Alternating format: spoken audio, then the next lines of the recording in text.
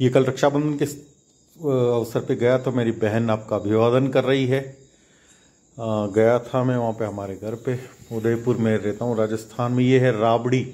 राजस्थान की राबड़ी मक सफ़ेद मक्के की दलिए की बनती है। वो बहुत ही पौष्टिक और गर्मी में तो अमृत छाछ और वो उससे। लेकिन ये है जो वाली। मेरी मम्मी बना रही खाना।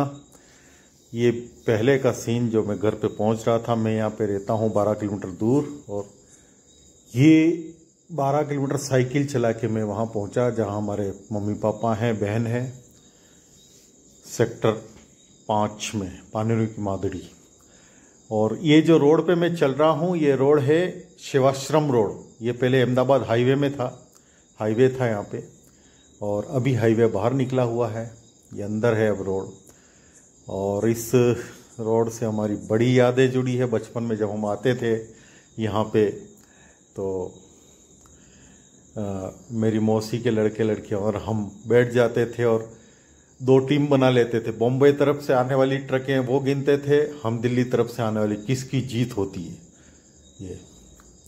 और ये देखो कितनी अच्छी सेल लगी हुई जगह जगह और बहुत अच्छे पेड़ पौधे रोड देखिए आप राजस्थान के उदयपुर के नंबर वन। और स्पेस, सिटी में भी आपको बहुत जगह स्पेस मिलेगा, बहुत जगह आप खड़े हो सकते हैं, पेड़ों किनारे, कुर्सियाँ लगी हुई है, बहुत शानदार उदयपुर, बहुत शानदार शहर है।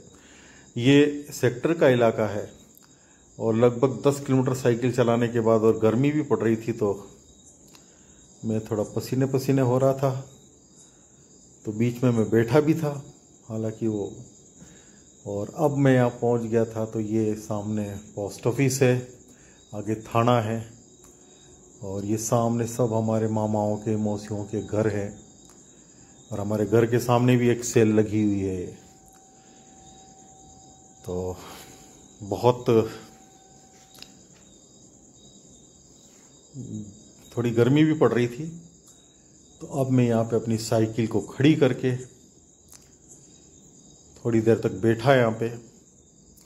उदयपुर में जगह जगह आपको ऐसे ये मिलेंगे। जगह जगह से बैठने के लिए बने हुए सरकार की तरफ़ से। तो मैं यहाँ पे बैठा हूँ और अब मैं प्रवेश कर रहा हूँ अपने घर के अंदर। ये मेन रोड से अंदर हम गए, फाटक लगाई और ये गली में। ये हमारे नाना ने प्लॉट दिए थे दोनों बहनों को मतलब मेरी मम्मी को और मौसी को। तो ये तो हमारा मकान है और इसके पीछे हमारी मौसी का मकान है। ये प्रवेश हो रहे हैं हम। जूते उतारे मैंने और चुपके से ये पहुँचा मैं। ये मेरे फादर, पापा। एक्चुअली ये हक्के बक्के हो गए, एकदम सरप्राइज़ दिया मैंने और ये मेरी मम्मी लेटी हुई है। जैसे क्षीर सागर में लेटते हैं ना वो, नारायण और यो। लेकिन मेरा पसंदीदा सबसे जो जगह रहती है, वो होता है किचन। और मैं घुस गया हूँ किचन में।